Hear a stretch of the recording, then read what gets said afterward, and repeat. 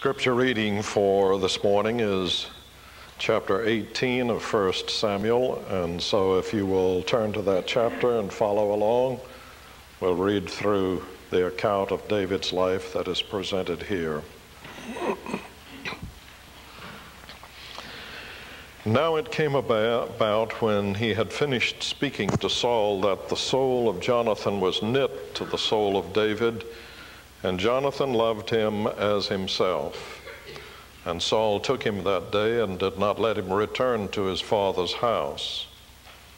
Then Jonathan made a covenant with David because he loved him as himself. And Jonathan stripped himself of the robe that was on him and gave it to David with his armor, including his sword and his bow and his belt. So David went out wherever Saul sent him and prospered. And Saul set him over the men of war. And it was pleasing in the sight of all the people and also in the sight of Saul's servants. And it happened as they were coming, when David returned from killing the Philistine, that the women came out of all the cities of Israel, singing and dancing, to meet King Saul with the tambourines, with joy, and with musical instruments.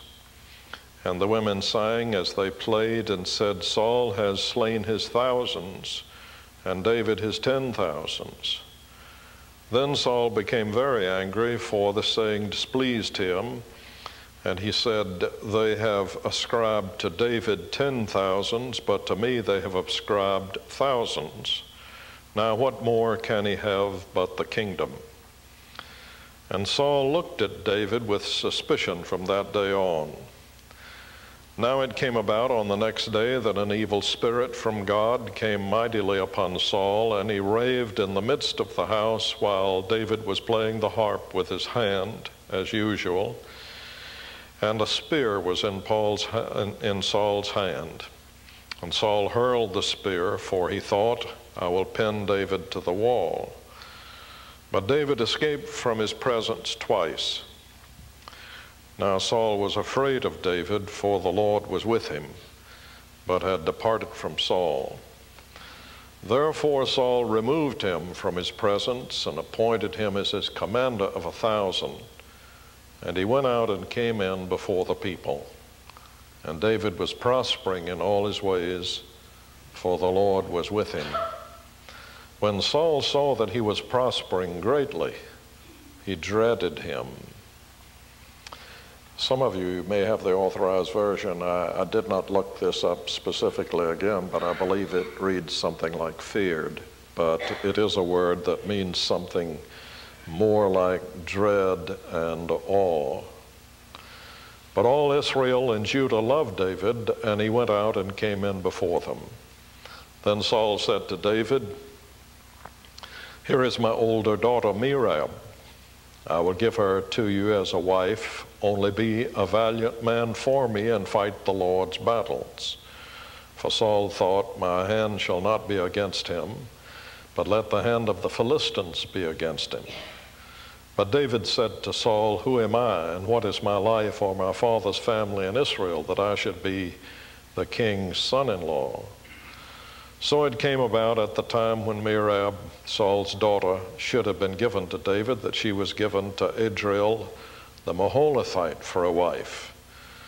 Now Michal, Saul's daughter, loved David. When they told Saul the thing was agreeable to him, and Saul thought, I will give her to him, that she may, may become a snare to him, and that the hand of the Philistines may be against him. Therefore Saul said to David for a second time, You may be my son in law today. Then Saul commanded his servants, Speak to David secretly, saying, Behold, the king delights in you, and all his servants love you. Now therefore become the king, king's son in law. So Saul's servants spoke these words to David, but David said, Is it trivial in your sight to become the king's son in law, since I am a poor man and lightly esteemed? And the servants of Saul reported to him according to these words which David spoke. Saul then said, Thus you shall say to David, The king does not desire any dowry except a hundred foreskins of the Philistines to take vengeance on the king's enemies. Now Saul planned to make David fall by the hand of the Philistines. When his servants told David these words, it pleased David to become the king's son in law. Before the days had expired, David rose up and went, he and his men, and struck down 200 men among the Philistines. Then David brought their foreskins, and they gave them in full number to the king, that he might become the king's son-in-law. So David, so Saul gave him Michal, his daughter, for a wife. When Saul saw and knew that the Lord was with David, and that Michal, Saul's daughter, loved him, then Saul was even more afraid of David. Thus Saul was David's enemy continually. Then the commanders of the Philistines went out to battle, and it happened as often as they went out that David behaved himself more wisely than all the servants of Saul. So his name was highly esteemed. May the Lord bless this reading of his word, and let's bow together in a moment of prayer.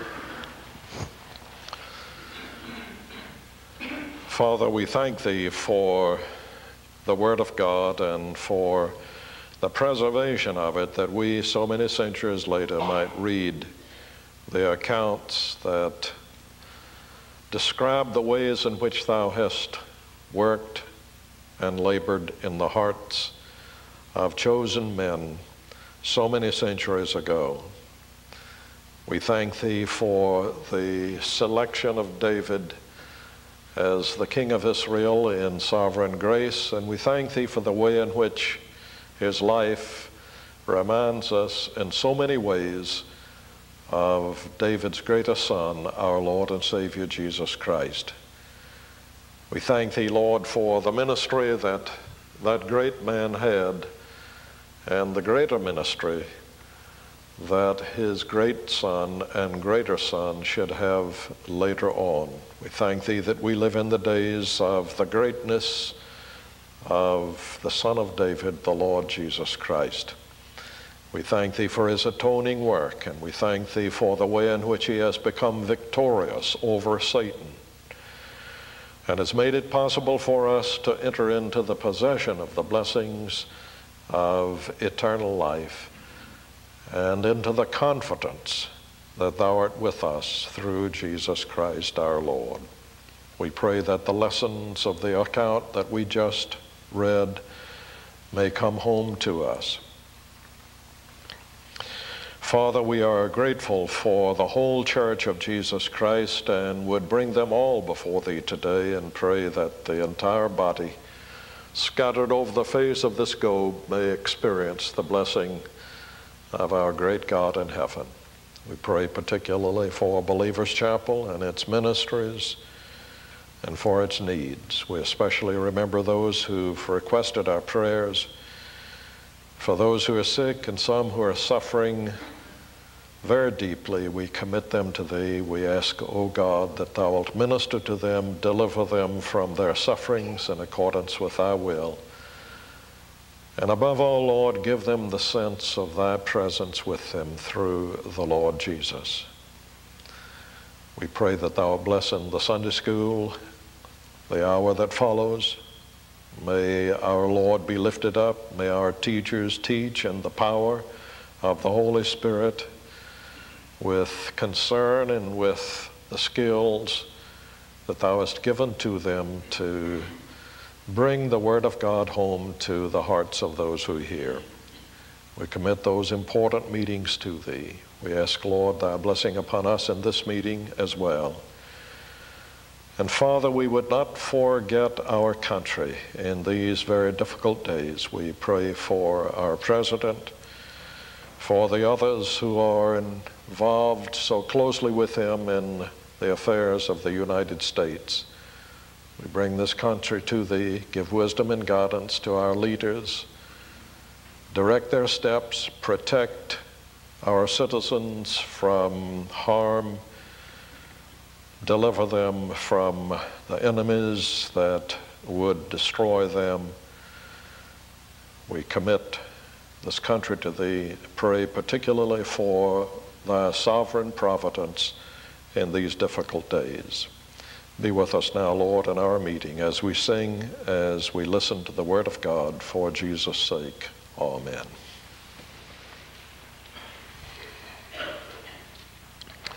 The subject for today in the continuation of our studies in the life of David is providence and the ways of love and envy.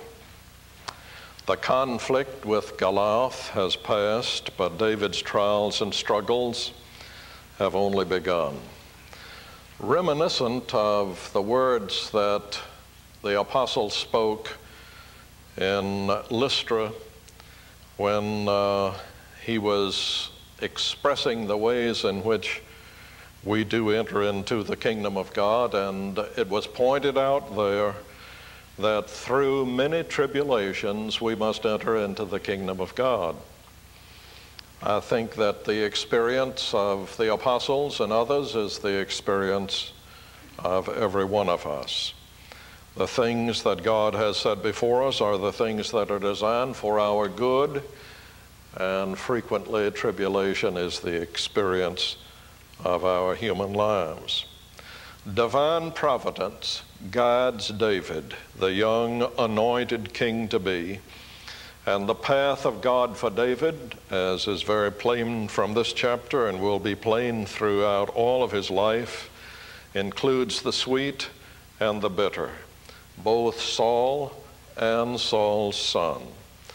On the one hand, there is the covenantal love of Jonathan. Notice the way in which it is described. In verse 1, Jonathan loved him as himself. And that is repeated in verse 3. Jonathan made a covenant with David because he loved him as himself. It's no wonder when Jonathan finally met his death, the description of his death by David is one of the nicest things in the books of Samuel. Samuel. It, he describes Saul and Jonathan in this way Saul and Jonathan, beloved and pleasant in their life, and in their death they were not parted. They were swifter than eagles, they were stronger than lions. How have the mighty fallen in the midst of the battle? Jonathan is slain on your high places. I'm distressed for you, my brother Jonathan. You have been very pleasant to me. Your love to me was more wonderful than the love of women. How have the mighty fallen and the weapon of war perished? The covenantal love of Jonathan. But on the other hand, there is the murderous envy of Saul. Both are in God's purpose and plan for maturity.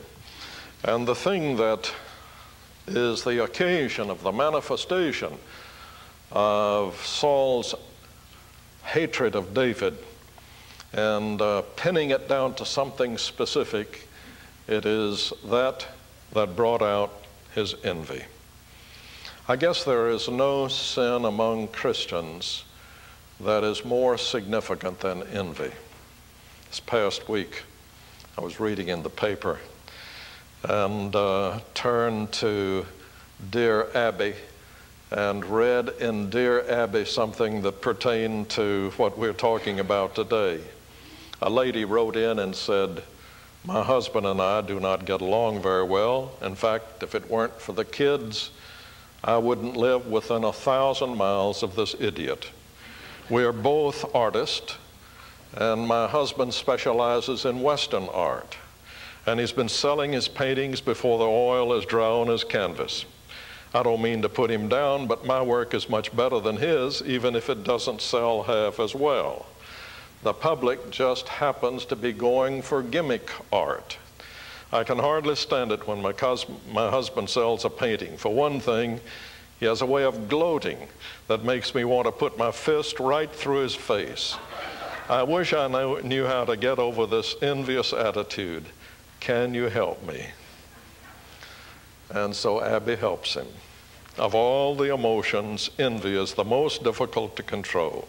Since you don't even like your husband and you're competing with him professionally to boot, it will be doubly difficult to curb your envy. Keep telling yourself that envy is an acid that does more damage to the container, you, than the object of your en- envy. Well, that's good common sense advice, I guess. You don't find it in Scripture, of course. We do not, we're never, so far as I know, told that envy is an acid, but it is true that envy does more damage to ourselves usually than it does to the other person of whom we're envious. And one finds an illustration of it in this very chapter. Well, we've said that this kind of conflict, that is, the conflict of the Christian life, affects us all.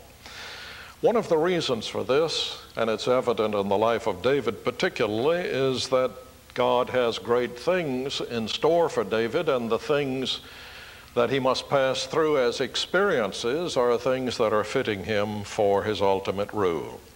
Those who hope to rule must first learn to obey. Matthew Henry said a long time ago. That is true. Well, let's look for a few moments this morning at the chapter, the 18th chapter, and first we'll take a rather brief look at John, the covenantal love of Jonathan and David because later on I want to expand upon it a little bit. Jonathan's name, as you probably know, means essentially Yahweh has given. Nathan in Hebrew is the word that means to give, and Jonathan is derived from the word for God so, Jonathan's name, a beautiful name, lovely name to give your children, the Lord has given, or the gift of God. Jonathan, we must not think, was a weak person. Jonathan was anything but that. He was every inch a man. Earlier chapters in this book explain that he was a warrior. He was very brave. I could talk, we could turn to specific passages. It would take us too long to support this, but I assure you it's true. He was very respected by the people and by the soldiers, a loving man and a spiritual man. In fact, at one point it is stated that Jonathan encouraged David in the Lord. He was an individual who was a principled individual and a self sacrificing one, if one ever was a self sacrificing one. The one person who had reason to be jealous of David was Jonathan. He was the prince. He was the one who was to ascend to the throne as Saul's son. But he gives it all up for the one with whom he has fallen in love, David.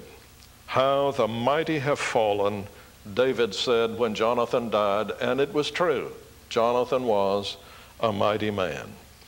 If we look at Jonathan and just consider him briefly, no doubt when Goliath came out and terrified the children of Israel, according to Scripture, all of them were terrified. And we may gather that Jonathan also felt some of the fear that would be natural when a man like Goliath came out and spoke to the children of Israel as he did. In fact, in the 24th verse of the 17th chapter, we read, When all the men of Israel saw the man, they fled from him and were greatly afraid.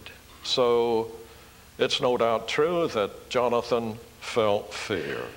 So he was first terrified, but then came to be satisfied with David. His soul was knit to the soul of David. It was almost love at first sight among men in the truest and purest sense.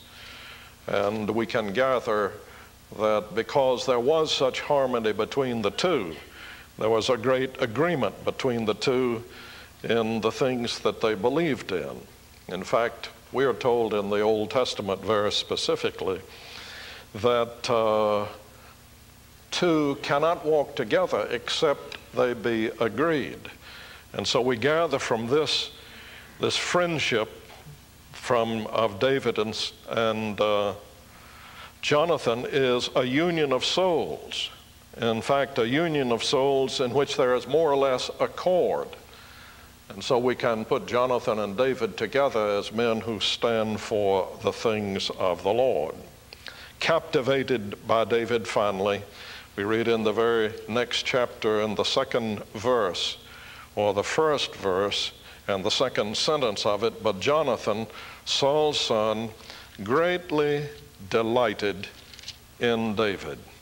So, fearful, but then he came to know David and came to be attached to him, and finally he was captivated by David. In fact, one of the greatest statements, I think, of the Word of God is found in verse 4 And Jonathan stripped himself of the robe that was upon him.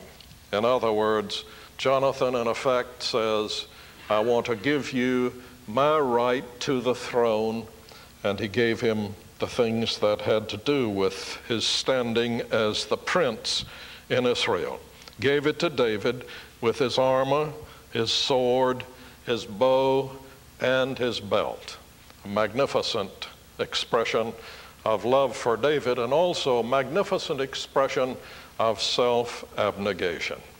It reminds us of two things. It reminds us, of course, of Paul, of, of Paul the greater Saul, and his statement regarding his coming to the Lord Jesus Christ, and how finally, after he had given up everything that he had, he gave up the loss of everything, he says, as he wrote to the Philippians. But above all, it reminds us of our Lord and Savior Jesus Christ, and we'd like to expand upon that later on, but not today.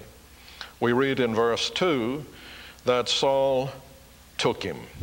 That is, took him in the sense that he did not let him return to his father's house, taken hostage for future work by divine providence. I have no doubt that this was by divine providence. Saul took him, but God was behind Saul, and it was done in order that David might begin to prepare for, for ultimately what God had for him. I would imagine that David had no understanding of what was transpiring. It was a great privilege now to be li- living in the royal court. And no doubt he had no understanding fully. He knew that he had been anointed to be the king ultimately, so Samuel had said, but there is little indication that he understood the fullness of what was involved, but God was preparing him for what was to come. A few weeks ago, I mentioned the statement by Luther who said concerning a theologian a theologian is made by prayer, by meditation, and by trial. And now David really begins school in earnest. Aren't you happy? Tomorrow's the day, isn't it? School begins. Well, David begins school as well. And he begins the school of the Lord God in order to prepare him for what is to come. So Saul took him, did not let him return to his father's house. And David went out wherever Saul sent him and prospered. And Saul set him over the men of war, and it was pleasing in the sight of all the people and also in the sight of Saul's servants. But now the flames of envy begin to burn in the heart of Saul. Everyone is pleased at this point, but there is one discordant note. Acid is working in the soul of King Saul. Saul's envy. And isn't it striking the way in which, in this instant, two things result from the actions of David and Saul? One, the love of David, the love of David by Jonathan, and the other, the envy of David by Saul. The occasion of the flames of envy in this chapter is described in verses 6 and 7. And it happened as they were coming, when David returned from killing the Philistine, that the women came out of all the cities of Israel singing and dancing to meet King Saul with tambourines, with joy, and with musical instruments. And the women sang as they played and said, Saul has slain his thousands, and David his ten thousands. Now, of course, the obvious thing that meets us immediately is well, it is a downgrading of Saul and an upgrading of David. Saul has slain his thousands. David has slain his ten thousands. And that's the way that Saul was affected by this too. But reflect for a moment. Who did the slaying? Was it really David? Well, if you look at it from the standpoint of the Word of God, David himself said he came against Goliath in the name of the Lord God. And in fact, the account has been telling us over and over again that the reason that David is prosperous is because God was with him. It's not God who slew, it's not David who slew Goliath, it ultimately is God who slew Goliath. It's God who was behind the man and gave him this miraculous victory with a slingshot over the mighty warrior of the Philistines. So the women have made a fundamental mistake. And the fundamental mistake that they've made is to sing and dance with the musical instruments and joy and praise Saul for slaying ten thousands and praise David for his, did I say thousands? Uh, David his ten thousands when they should have been praising God for the victory. You know, sometimes I think in evangelicalism we forget the simplest things, just as those women forgot the simplest things. And so we hear someone give a message, give a testimony, sing a beautiful song, and what do audiences do today? They clap. Clap for the individual. When really, standing behind anything that is worthwhile in spiritual things is the Lord God. I think it is much more suitable for us to be quiet in our spirits and express our thanksgiving to God, for He stands behind anything that is worthwhile in the work of the Lord, and let us never forget that. Saul has slain his thousands, David has slain his ten thousands. No, no. Those were instruments in the hand of the Lord God. Salvation, victory, the slaughter of the enemies of God is always by the hands of the Lord God. Now, the occasion, though, is this. And the words of the women singing have stirred up the envy that is in the heart of King Saul. Jealousy, Scripture says, is the rage of a man, and one can see it here. On the one hand, we have the picture of David playing on his harp before King Saul, and King Saul playing with his javelin in his hand. Isn't it an interesting picture? David playing on the harp, and Saul playing with his javelin. And the response is the response of the flames of envy. Someone has said, the bright day brings out the adder. And it's a bright day of victory in Israel, and now there comes out the adder. And the adder is envy in the heart of King Saul. But actually, envy is not the real problem. If you'll go back and look at the history of Saul from the beginning, you'll find that the significant thing about Saul is that he begins without a knowledge of God. I don't know whether you've ever noticed this or not, but the one person, so far as we know, who did not know anything about Samuel the prophet was Saul's father and Saul himself. You study 1st and 2nd Samuel through, and Kish, you'll remember, was Saul's father.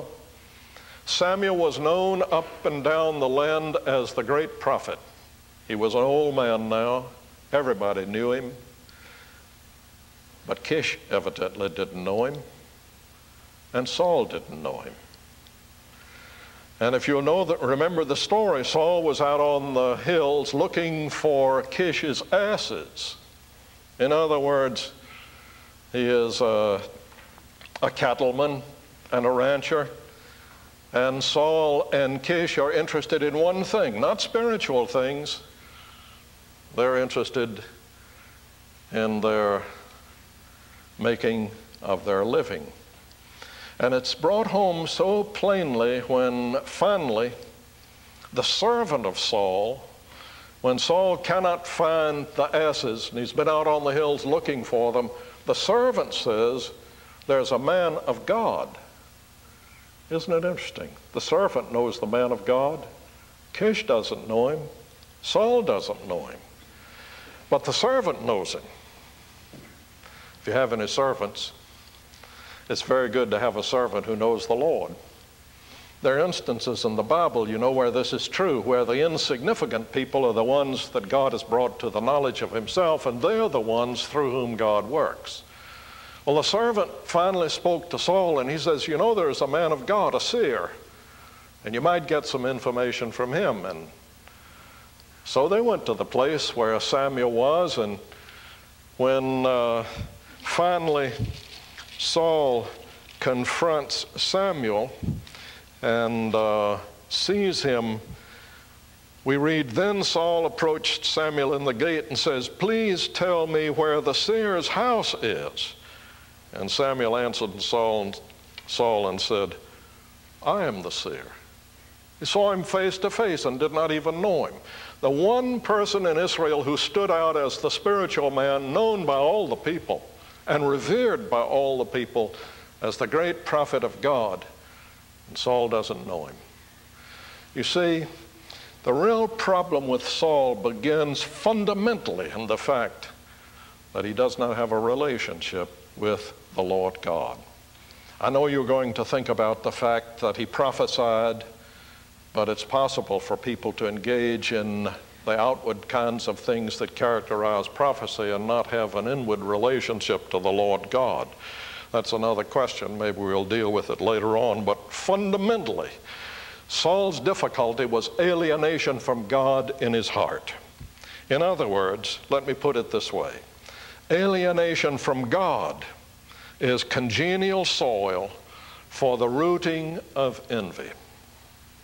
In other words, Abby, it's very good to tell us that envy is like acid. But from what does envy come?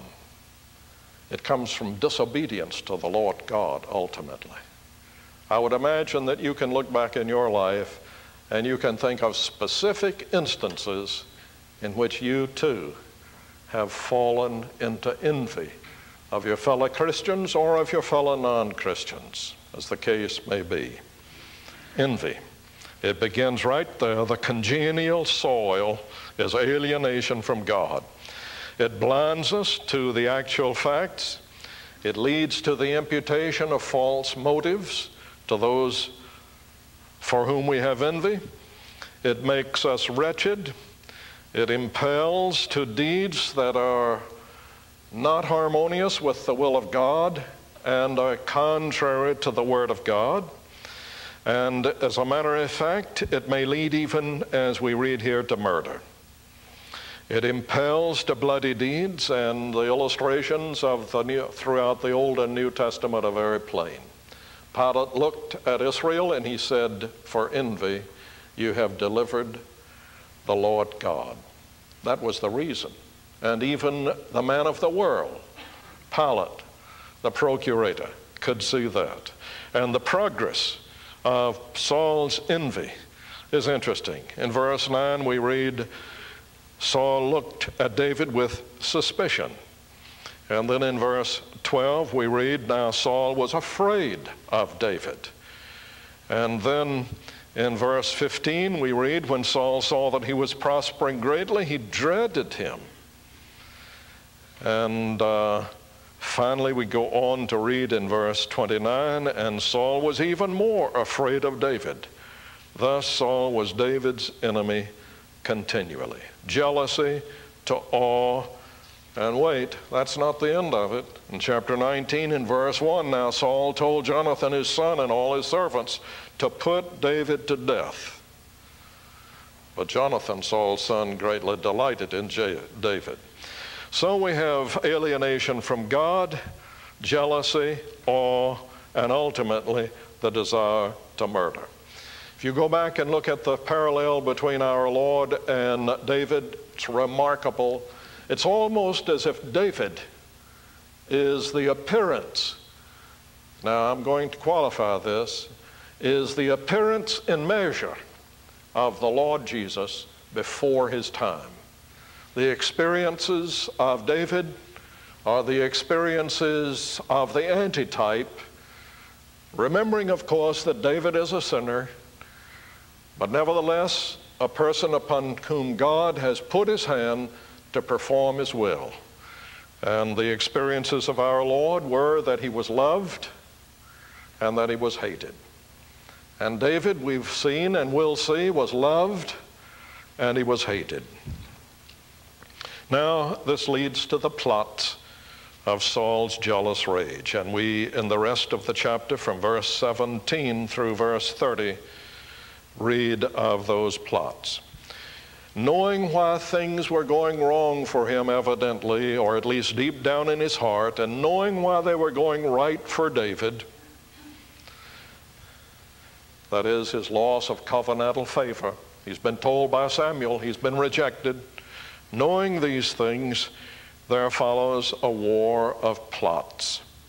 Just like John the Baptist and Herod, and just like the experiences of life. And so the one thing that he must do is, if it is possible, destroy David in order to preserve his own position. The first plot is one regarding his daughter Merab. Let David win his spurs and fight the Lord's battles. Isn't that interesting? Notice verse 17. Then Saul said to David, Here is my older daughter, Merab. I will give her to you as a wife, wife. Only be a valiant man for me and fight the Lord's battles. Now, I want to translate that. Fight the Lord's battles for me. In other words, David is put in the thick of things in order to fight the Lord's battles. Those are Saul's words, but they really were fighting Saul's battles for they were the battles that Saul should be fighting. But David is to win his spurs. That's Saul's point. Win your spurs, David, and show us that you really have it, and fight the Lord's battles. But they're really the Lord's battles that Saul should be fighting. Well, it came about at the time when Merab, Saul's daughter, should have been given to David, that she was given to Adriel, the Meholathite, for a wife. They had five children. They were slain. I don't know the connection between them, but it's obvious that God's hand was not upon the union. Then the remainder of the chapter is devoted to the relationship between Saul, Michal, and David. And so, in the spirit of Psalm 55 21, you know what that reads like? Psalm 55 and verse 21 reads this way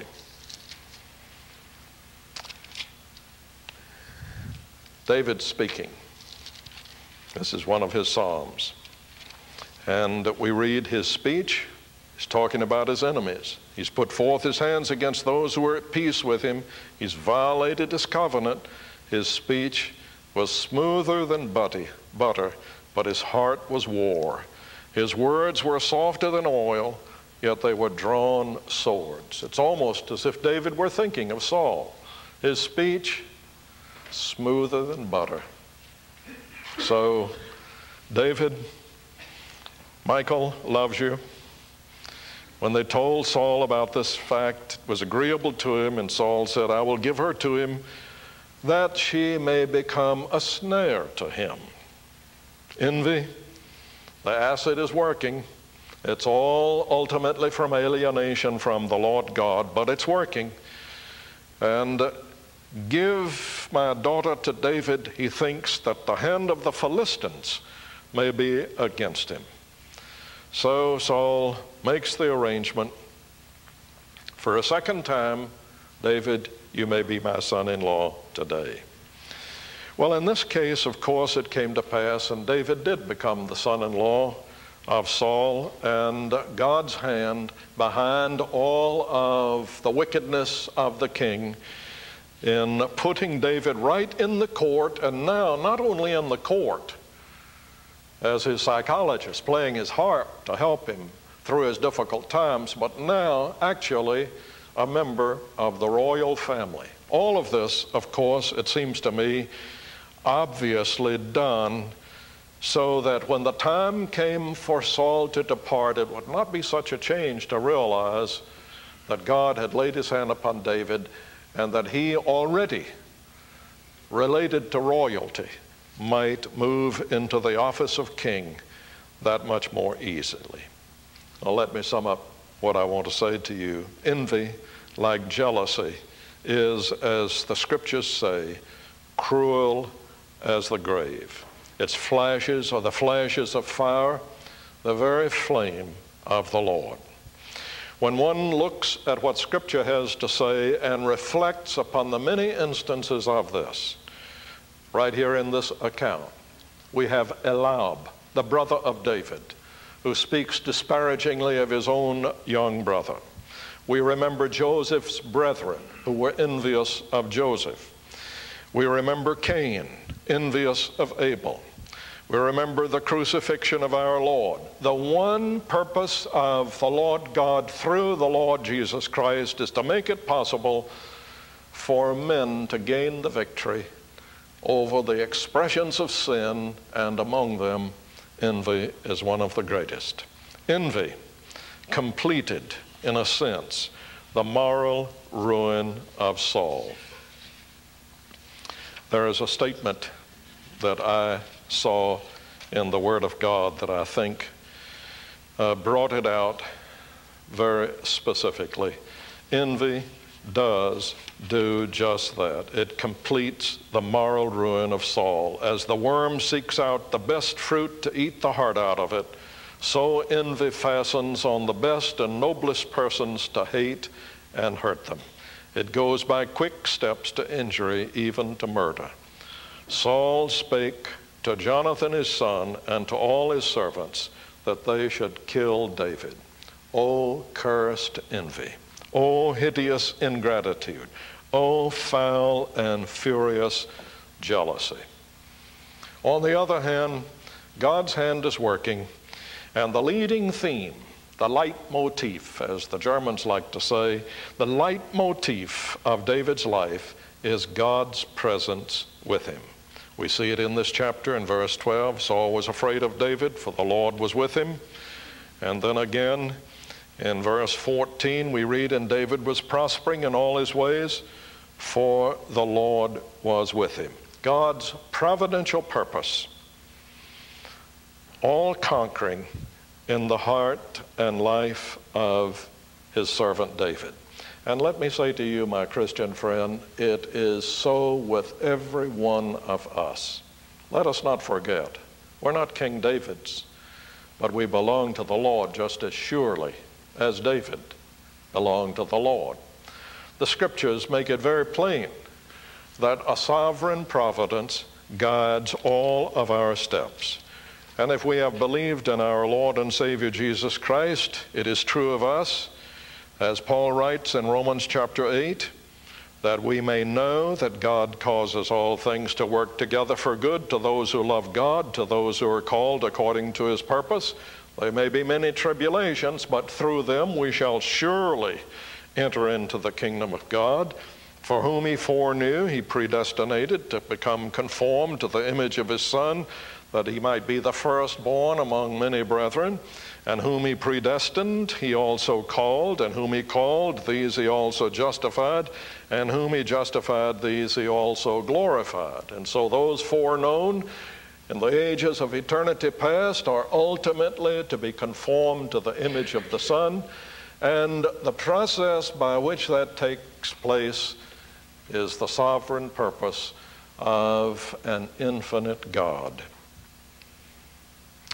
Haman may fight the Jews, but is sure to be defeated. The Scottish kings, both male and female, may fight John Knox, but God's purposes for Scotland come to pass. Not only Mary, Queen of Scots, but the English kings and the French kings and the prelates and the Pope's minions and all of them arrayed against the one man, John Knox, who feared neither man nor woman, and God's hand was upon him, And today, in the land of Scotland, the land of the Reformation, there's still some vestiges left, not too many, but some vestiges left of the work of God through the one man, John Knox, in the 16th century. Saul's wrathful plots only serve what God intends to do for David. Do you remember the scripture? God makes the wrath of men to praise him. And let me assure you that that is true for every one of us as well. If we engage in things that are contrary to His will, His purpose is going to be accomplished. And if there are individuals who fight and struggle against the purposes of God, seek in every way, as Saul did, to, in a sense, to deny the election of David that had taken place, God makes the wrath of men to praise him. How marvelous it is to know that a sovereign providence guides all of our steps. Surprisingly, we're stopping this morning on time. Look at the back. Isn't that a beautiful thing? If you're here today and you've never believed in our Lord Jesus Christ, you do not have the confidence and the assurance of the sovereign providence of God guiding your steps, though they may be, it may be doing just that because you may be included within those who are God's intent to bring to our Lord Jesus as belonging to Him. My prayer, my hope for you is that you, if you do not know Him, may come to know him, whom to know is life eternal, and that you may have the confidence of the sovereign purpose of God guiding your steps too. Come to Christ, believe in him who died for sinners that they might have life. Let's stand for the benediction.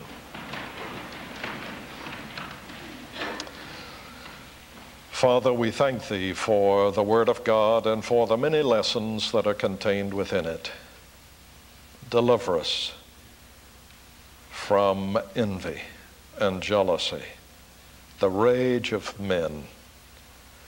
And help us also to remember that fundamentally there can be no deliverance if there is alienation from God.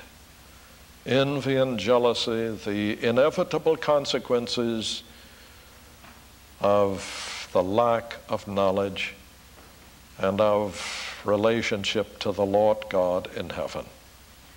Father, for those who may be in our audience who do not know our Lord, touch their hearts and draw them to thyself through David's greatest son who suffered on Calvary's cross for sinners. May thy blessing be upon us in the classes that follow and throughout the remainder of this day and this week for Jesus' sake. Amen.